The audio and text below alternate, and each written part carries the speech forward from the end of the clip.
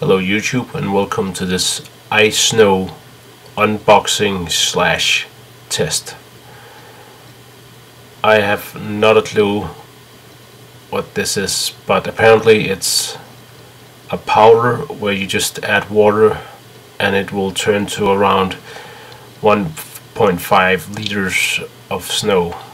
So uh, stay tuned and let's see what happens.